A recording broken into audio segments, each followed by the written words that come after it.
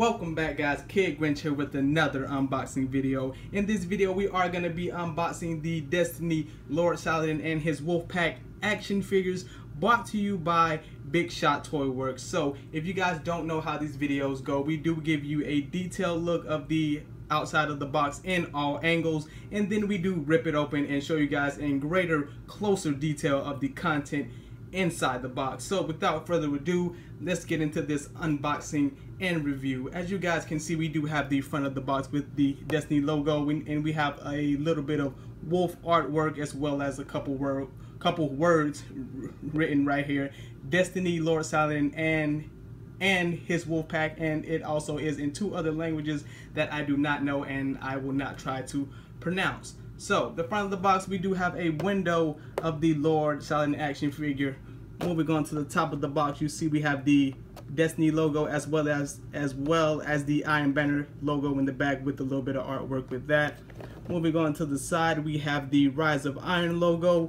Moving on to the back, we have a we have a quick preview of what is inside of this box. As you can see, Lord Saladin and his two wolves in his wolf pack. Moving on to the other side, we have a little bit more artwork of one of his wolves. And on the bottom, we have a couple logos, the Bungie logo and the Big Shot logo. And we just have a couple things that we don't really care about. So let's go ahead and open it up and check out what's inside.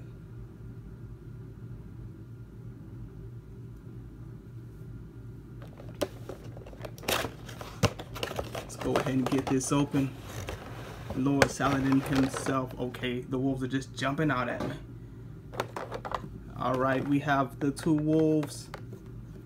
Oh, okay, let me get those standing up.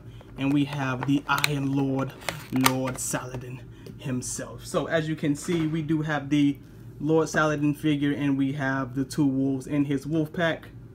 Now, let's get into this closer detail. Let's get into this close up there he is guys. The iron lord himself lord saladin. Let's check out these details on the helmet. Details on the helmet.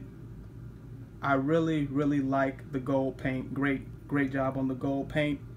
Great job on the on the details as usual as you guys can see.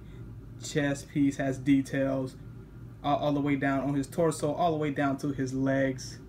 Just detailed down. Let's um let's check out his Check out his axe, detailed on his axe, and check out the cape. The cape, the cape looks like it's blowing in the wind. I really, really like that. Really badass. I really like that. Oh, and we even have details up under the cape. Check out the back of them. Get a little detail of the back of them. Detailed down as you can see, and also his armor is detailed down. Great figure, great figure. Oh, and these are retailed at $19.99 at GameStop. So if so if you guys do like these figures, make sure you make sure you run down to your local GameStop and try to pick these up for $19.99. It's pretty much like 21 bucks and some change, you know, total, but and let's go ahead and show you guys the wolf. The wolves look pretty awesome. Pretty badass.